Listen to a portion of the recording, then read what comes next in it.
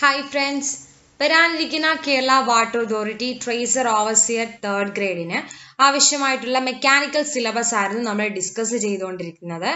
അതിന്റെ eighth video ആണ്. Milling machine part two milling മെഷീന്റെ ഹൊറിസോണ്ടൽ മില്ലിംഗ് മെഷീൻ നമ്മൾ കഴിഞ്ഞ വീഡിയോയിൽ കംപ്ലീറ്റ് ചെയ്തിരുന്നു. സോ ഇന്ന് നമ്മൾ വെർട്ടിക്കൽ മില്ലിംഗ് മെഷീൻ ആണ് ഡിസ്കസ് ചെയ്യാൻ പോകുന്നത്. സോ സ്റ്റാർട്ട് ചെയ്യാം. സോ കഴിഞ്ഞ വീഡിയോയിൽ നമ്മൾ ഹൊറിസോണ്ടൽ മില്ലിംഗ് മെഷീൻ ആയിരുന്നു പഠിച്ചിരുന്നത്. അതിന്റെ പാർട്സും കാര്യങ്ങളും ഒക്കെ. സെയിം പാർട്സ് ഒക്കെ തന്നെയാണ് വെർട്ടിക്കൽ മില്ലിംഗ് മെഷീൻ ഉള്ളത്. ഒരു ഡിഫറൻസ് മാത്രമേ ഉള്ളൂ. ആ സ്പിൻഡിൽ വെച്ചിരിക്കുന്ന പൊസിഷൻ ആ പൊസിഷൻ അനുസരിച്ചാണ് ഈ വെർട്ടിക്കൽ ഹൊറിസോണ്ടൽ ആവുന്നത്. നമ്മൾ ഹൊറിസോണ്ടൽ മില്ലിംഗ് മെഷീനകത്ത് സ്പിൻഡിലിന്റെ പൊസിഷൻ എന്ന് പറഞ്ഞാൽ ഹൊറിസോണ്ടൽ ആയിട്ടായിരുന്നു. അതുകൊണ്ടാണ് ആ പേര് വന്നത്. ഇവിടെ ഈ ഫിഗർ നോക്കിക്കഴിഞ്ഞാൽ വെർട്ടിക്കൽ മില്ലിംഗ് മെഷീനിൽ സ്പിൻഡിൽ പ്ലേസ് ചെയ്തിരിക്കുന്നത് വെർട്ടിക്കൽ ആയിട്ടാണ്. അതുകൊണ്ടാണ് വെർട്ടിക്കൽ മില്ലിംഗ് മെഷീൻ എന്നതിന് പേര് വന്നത്. സോ അതാണ് in vertical milling machine the spindle axis is cut vertical vertical milling മെഷീന്റെ പാർട്സ് നമുക്ക് നോക്കാം. അതിനകത്ത് ഫസ്റ്റ് വൺ ആണ് ബേസ് ഹൊറിസോണ്ടലി നമ്മൾ പഠിച്ച അതേ സെയിം തന്നെയാണ് ഇവിടെയുള്ള കുറച്ച് പാർട്സ് ബാക്കി വ്യത്യാസം എവിടെയാണ്? സ്പിൻഡിലിന് മാത്രമേ ഉള്ളൂ. സോ ബേസ് നമുക്ക് നോക്കാം. It is a foundation member for all other member of a milling machines and also it gives a machine required rigidity and strength കഴിഞ്ഞ വീഡിയോയിൽ ഇതേ ഡെഫിനേഷൻ തന്നെയാണ് പറഞ്ഞത്. സോ ഇത് എല്ലാ പാർട്സിനെയും എന്ത് ചെയ്യുന്നു? ക്യാരി ചെയ്യുന്നത് കൊണ്ട് ഇതൊരു ഫൗണ്ടേഷൻ മെമ്പർ ആണ്. റിക്വയർ ആയിട്ടുള്ള റിജിഡിറ്റി ഉണ്ട് and also be gives the strength next പാർട്ടാണ് കോളം എന്ന് പറയുന്നത്. ആ ഫിഗറിനകത്ത് കോളം കാണിച്ചിട്ടുണ്ട്. ബേസിന് മുകളിലേക്ക് മൗണ്ട് ചെയ്തിരിക്കുന്ന വെർട്ടിക്കൽ മെമ്പർ ആണ് കോളം എന്ന് പറയുന്നത്. ഇതിന്റെ ഫ്രണ്ട് ഫേസ് എന്ന് പറയുന്നത് കോളത്തിന്റെ ഫ്രണ്ട് ഫേസിൽ വെർട്ടിക്കൽ ഗൈഡ് വേസ് ഉണ്ട്. സോ അത്രേ ഉള്ളൂ അതിനകത്ത് പോയിന്റ് എന്ന് പറയുന്നത്. So it is a main supporting frame mounted vertically on the base ബേസിന് മുകളിൽ വെച്ചിരിക്കുന്ന മെയിൻ വെർട്ടിക്കൽ മെമ്പർ ആണ് കോളം എന്ന് പറയുന്നത്. And the front face of a column has vertical guide ways next പാർട്ടാണ് നീ. നീ എന്ന് പറയുന്നത് ഒരു റിജിഡ് കാസ്റ്റിംഗ് ആണ്. വെർട്ടിക്കൽ ഗൈഡ് വേസ് കോളം ഫേസിലുള്ള ആയിട്ടുള്ള ഗൈഡ് വേസിൽ കൂടി മുകളിലോട്ടേക്കും താഴോട്ടേക്കോ സ്ലൈഡ് ചെയ്യുന്നത് ഈ നീസ് ആണ്. ഓക്കെ നെക്സ്റ്റ് എന്ന് പറയുന്നത് ഈ നീസിന്റെ മുകളിലായിട്ട് ഒരു ഹൊറിസോണ്ടൽ ഗൈഡ് ഉണ്ട്. ഇതിന്റെ മുകളിൽ. അതിന് മുകളിലാണ് ഈ സാഡിലെ ടേബിൾ വർക്ക് പീസ് വെച്ചിരിക്കുന്നത്. സോ അതിന് അങ്ങനെ വരുമ്പോൾ നീസിന്റെ മുകളിൽ ഒരു കൊറിസോണ്ടൽ ആയിട്ടുള്ള സ്ലൈഡിംഗ് ഫേസ് ഉണ്ട് അല്ലെങ്കിൽ ഗൈഡ് വേസ് ഉണ്ട്. സോ അതിന് മുകളിൽ ഇതിനെ അഡ്ജസ്റ്റ് ചെയ്യാൻ പറ്റും.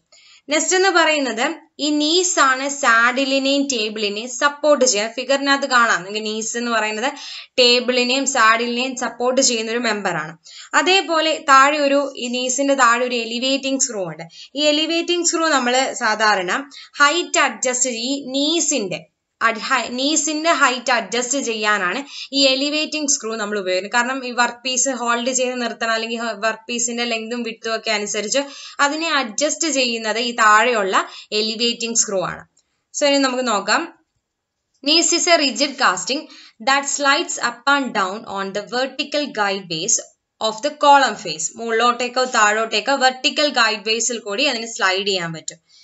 Next it has a horizontally guide ways on the top face ഈ നീസിന്റെ മുകളിൽ ഒരു ഹൊറിസോണ്ടൽ ഗൈഡ് വേസ് ഉണ്ട്. Next it support the saddle and table and it is partially supported by elevating screw which adjust the height of knees നീസിന്റെ height adjust ചെയ്യുന്ന ആളാണ് ഈ elevating screw എന്ന് പറഞ്ഞ. നെക്സ്റ്റ് പാർട്ടാണ് സാഡിൽ ഫിഗറിനകത്ത് സാഡിൽ കാണിച്ചിട്ടുണ്ട്. Knees ആണ് സാഡിലിനെ സപ്പോർട്ട് ചെയ്യുന്നത്. സാഡിലിന്റെ മണ്ടയ്ക്കാണ് ടേബിൾ വെച്ചിരിക്കുന്നത്. ഈ നീസിന്റെ മണ്ടയ്ക്ക് ഒരു ഹൊറിസോണ്ടൽ ബേസ് ഉണ്ടെന്ന് പറഞ്ഞായിരുന്നു. ഹൊറിസോണ്ടൽ ഗൈഡ് ബേസ് അതിന്റെ മുകളിലായിട്ടാണ് ഈ സാഡിൽ നിൽക്കുന്നത്. സോ അതാണ് saddle support and carries a table and it is adjustable on the guide base on the top of the knees next one ആണ് ടേബിൾ ടേബിൾ സാഡിലിന്റെ മുകളിലായിട്ടാണ് ഇരിക്കുന്നത്. അത് ലോങ്ജിറ്റ്യൂഡിൽ മൂവ്മെന്റ് ആയിരിക്കും ക്യാരി ഔട്ട് ചെയ്യുന്നത്. അതേപോലെ ടേബിളിന്റെ മുകളിലാണ് വർക്ക് പീസ് ഹോൾഡ് ചെയ്ത് വെച്ചിരിക്കുന്നത്. അതാണ് table rest on the guide base on the saddle and it can be moved longitudinally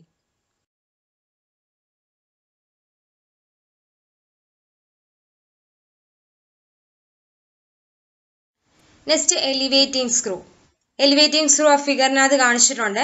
അത് നീസിനെ സപ്പോർട്ട് ചെയ്യാനും ആ നീസിന്റെ ഹൈറ്റ് അഡ്ജസ്റ്റ് ചെയ്യുവാനുമാണ് എലിവേറ്റിംഗ് സ്ക്രൂ നമ്മൾ ഉപയോഗിക്കുന്നത്.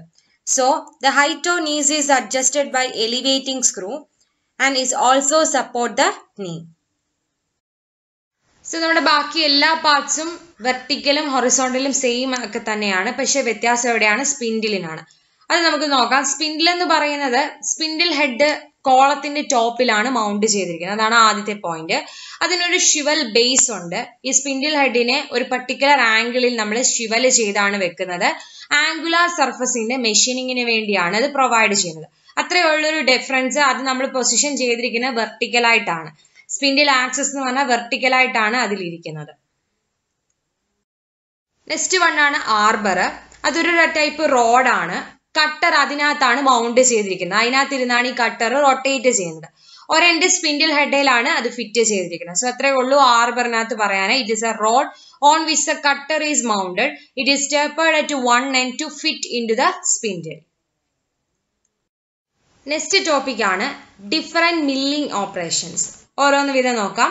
First one plain milling face milling side milling end milling ഈ slot gear milling angular milling and form milling ഇത്രയാണ് നമുക്ക് പഠിക്കാനുള്ള മില്ലിംഗ് ഓപ്പറേഷൻസ് എന്ന് ഇനി ഓരോന്ന് വിധം നോക്കാം. ഫസ്റ്റ് വൺ ആണ് സ്ലാബ് അല്ലെങ്കിൽ പ്ലെയിൻ മില്ലിംഗ് ആ ഫിഗർ ശ്രദ്ധിച്ചു കഴിഞ്ഞാൽ മനസ്സിലാവും.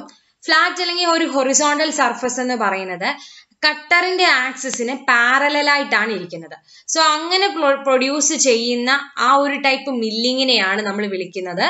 സ്ലാബ് അല്ലെങ്കിൽ പ്ലെയിൻ മില്ലിങ് ഇവിടെ പ്രത്യേകത ഫ്ലാറ്റ് സർഫസ് എന്ന് പറഞ്ഞ ആക്സിസ് ഓഫ് കട്ടറിന് പാരലാണ് അപ്പൊ അങ്ങനെ അതിനു വേണ്ടി ഉപയോഗിക്കുന്ന കട്ടറിനെയാണ് പ്ലെയിൻ മില്ലിംഗ് കട്ടർ എന്ന് പറഞ്ഞത് okay plain milling colour axis of കട്ടറിന് പാരലായിട്ട് എനിക്കൊരു ഫ്ലാറ്റ് അല്ലെങ്കിൽ ഒറിസോണ്ടൽ സർഫസ് പ്രൊഡ്യൂസ് ചെയ്യണമെങ്കിൽ ഈ ടൈപ്പ് മില്ലിംഗ് ആയിരിക്കും നമ്മൾ ഉപയോഗിക്കുന്നത്. ആ ഫിഗർ ശ്രദ്ധിച്ചാൽ മതി മനസ്സിലാവും? നെക്സ്റ്റ് വൺ ആണ് ഫേസ് മില്ലിംഗ് നമ്മൾ പ്ലെയിൻ മില്ലിംഗ് പറഞ്ഞായിരുന്നു. ഒരു ആക്സസ് ഓഫ് കട്ടറിന് പാരലായിട്ട് ഒരു ഫ്ലാറ്റ് സർഫസ് നമുക്ക് വർക്ക് പീസിൽ ക്രിയേറ്റ് ചെയ്യണമെങ്കിൽ നമ്മൾ ഉപയോഗിക്കുന്ന പ്ലെയിൻ മില്ലിംഗ് ആയിരിക്കുമെന്ന്. ഇനി ഫേസ് മില്ലിങ്ങിലോട്ട് വരുമ്പം അത് ആ അതേ കണ്ടീഷൻ തന്നെ പാരലിന് പകരം പെർപെൻഡിക്കുലർ എടുക്കുക. ഓക്കെ ആക്സിസ് ഓഫ് കട്ടറിന് പെർപെൻഡിക്കുലർ ആയിട്ട് ഒരു സർഫസ് വർക്ക് പീസ് ക്രിയേറ്റ് ചെയ്യണമെങ്കിൽ ഫേസ് മില്ലിംഗ് ആണ് ഉപയോഗിക്കുന്നത്.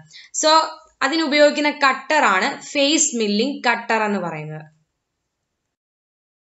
നെക്സ്റ്റ് സൈഡ് മില്ലിംഗ് ഫിഗർ ശ്രദ്ധിച്ച ഒരു വർക്ക് പീസിൽ സൈഡിലായിട്ടൊരു ഫ്ലാറ്റ് വെർട്ടിക്കൽ ഫേസ് പ്രൊഡ്യൂസ് ചെയ്യാനാണ് സൈഡ് മില്ലിംഗ് നമ്മൾ ഉപയോഗിക്കുന്നത്. അതിനുപയോഗിക്കുന്ന കട്ടറാണ് side milling cutter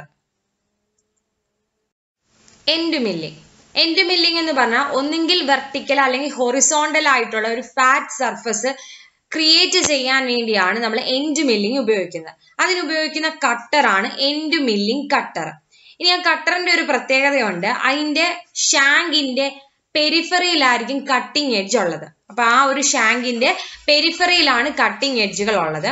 അതേപോലെ എൻഡ് മില്ലിംഗ് കട്ടിംഗ് കട്ടേഴ്സ് ഉപയോഗിക്കുന്നത് സ്ലോട്ടുകൾ ഗ്രൂസ് കീവേസ് ഇതൊക്കെ പ്രൊഡ്യൂസ് ചെയ്യാനാണ് എൻഡ് മില്ലിംഗ് കട്ടേഴ്സ് ഉപയോഗിക്കുന്നത്. അപ്പൊ മെയിൻ ഓർത്തിരിക്കേണ്ടത് ഫ്ലാറ്റ് സർഫസ് അത് ഒന്നെങ്കിൽ ഹൊറിസോണ്ടൽ ആവാം അല്ലെങ്കിൽ വെർട്ടിക്കൽ ആയിട്ടുള്ള സർഫസ് പ്രൊഡ്യൂസ് ചെയ്യാനാണ്. അതേപോലെ ഷാങ്കിന്റെ പെരിഫറിയിലാണ് കട്ടിംഗ് എഡ്ജ് ഉള്ളത്. ഇതെന്ന് പറയുന്ന സ്ലൂ സ്ലോട്ട് ഗ്രൂവ് കീവേസ് ഒക്കെ പ്രൊഡ്യൂസ് ചെയ്യാനാണ് എൻഡ് മില്ലിംഗ് കട്ടേഴ്സ് ഉപയോഗിക്കുന്നത്. T slot milling T slot milling എന്ന് പറയുന്നത് ആദ്യം നമ്മൾ ചെയ്യുന്നത് ആദ്യം ഒരു പ്ലെയിൻ സ്ലോട്ട് ഉണ്ടാക്കിയിട്ട് വർക്ക് പീസിൽ ഒരു പ്ലെയിൻ സ്ലോട്ട് ഉണ്ടാക്കും. ഒരു എൻഡ് മില്ലിംഗ് കട്ടർ ഉപയോഗിച്ച് ഒരു പ്ലെയിൻ സ്ലോട്ട് ഉണ്ടാക്കി. അതിനുശേഷം ഒരു ടീ സ്ലോട്ട് കട്ടർ അതിലേക്ക് ഇൻസേർട്ട് ചെയ്ത് അതിൽ ഫീഡ് ചെയ്യിപ്പിച്ചാണ് ഈ ടീ സ്ലോട്ട്സ് ഫോം ചെയ്യിക്കുന്നത്. സോ അതാണ് ഈ ടീ സ്ലോട്ട് മില്ലിംഗ് എന്ന് പറയുന്നത്. അതിന് ഉപയോഗിക്കുന്ന ആ ഒരു കട്ടറിനെയാണ് ടീ സ്ലോട്ട് കട്ടർ എന്ന് വിളിക്കുന്നത്. Next one form milling form milling എന്ന് പറഞ്ഞാൽ വർക്ക് പീസിൽ എന്തെങ്കിലും ഒരു പ്രൊഫൈൽ നമുക്ക് പ്രൊഡ്യൂസ് ചെയ്യണമെങ്കിൽ അതിലേതെങ്കിലും ഒരു ഷേപ്പ് കാണും. ആ ഷേപ്പ് അതിലേക്ക് കറസ്പോൺസ് ചെയ്യാൻ വേണ്ടിയാണ് ഫോം മില്ലിംഗ് ചെയ്യുന്നത്. അതാണ് form milling is a process by which profiles on the work piece are produced ഏതെങ്കിലും ഒരു പ്രൊഫൈൽ കാണും അത് വർക്ക് പീസിലേക്ക് പ്രൊഡ്യൂസ് ചെയ്യാനാണ് ഫോം മില്ലിംഗ് ചെയ്യുന്നത്.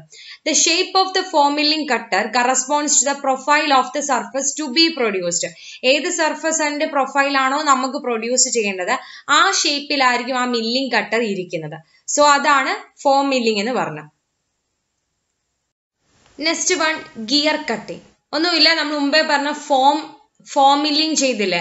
ഒരു ഫോം പ്രൊഫൈൽ ഉണ്ട്. ആ പ്രൊഫൈൽ വർക്ക് പീസിലേക്ക് പ്രൊഡ്യൂസ് ചെയ്യാൻ ഉപയോഗിക്കുന്നത്. സെയിം പോലെ തന്നെ ഉള്ളൂ.